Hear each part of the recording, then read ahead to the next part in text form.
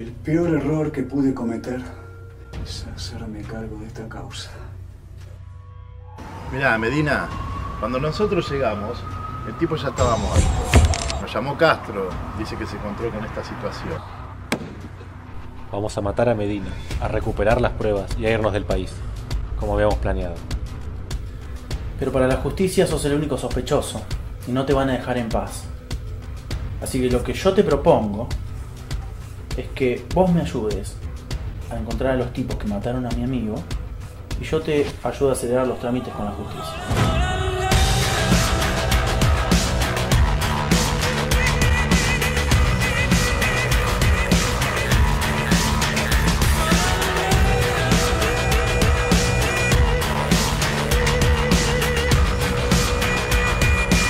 Me vas a tener que entregar las pruebas porque te voy a recagar a trompar.